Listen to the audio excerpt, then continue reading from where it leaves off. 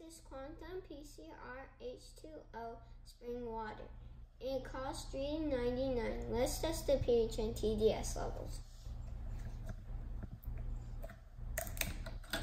Let's pour some water in.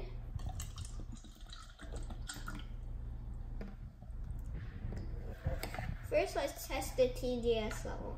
If you want to buy this TDS tester, check the link down below. Turn on the TDS tester, make sure it says zero, and put it in.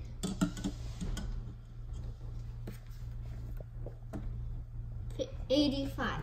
That is carbon filtered mountain spring or aquifers.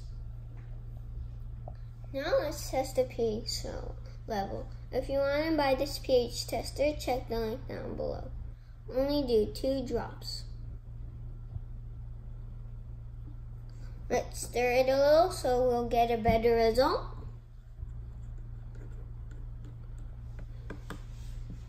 I give this a 7.5. This is neutral pH.